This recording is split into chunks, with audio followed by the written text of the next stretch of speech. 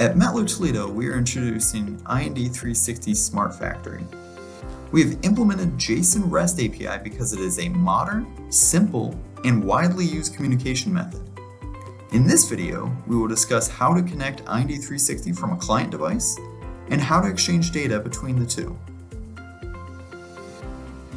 All models of IND360 support JSON REST API client access via IND360's service port, highlighted here.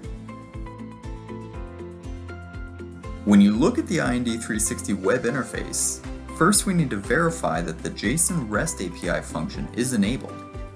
Once confirmed, complete the IP settings according to your local needs. In this video, we will use the client software Postman as an example. Just know that other JSON REST API clients would work similarly. In Postman, using the GET command allows you to obtain all the relevant information, including weight. The first letter of the word and URL must be capitalized. After issuing the command, you will receive gross, net, and tare weights as well as condition data such as stability, center of zero, overload, and underload status. With a PowerCell system, individual load cell weights are also included.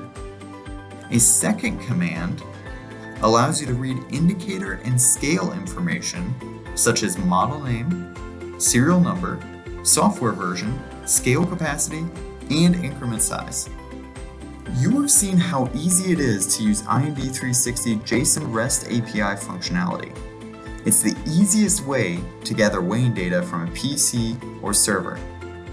IND360 facilitates simultaneous connection to PLCs and MESs, perfectly fitting the trend for OT and IT convergence in smart factories. Thank you for watching.